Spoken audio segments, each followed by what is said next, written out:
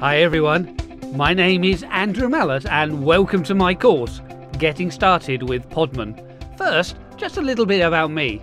I'm a Linux trainer and consultant working at my own company, The Urban Penguin, located in the UK.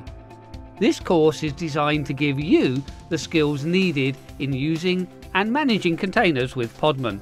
As you progress through this course, you will learn how to install and run Podman as a standard user.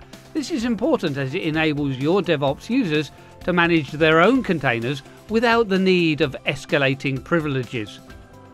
Some of the major topics that we will cover include installing Podman, creating containers, and managing writable volumes.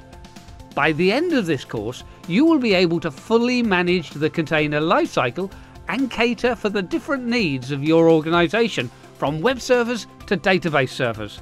Before beginning this course, you should be familiar with the Linux command line and, of course, executing commands. With this knowledge already in your arsenal, you will gain the most from this course and really extend your DevOps capabilities.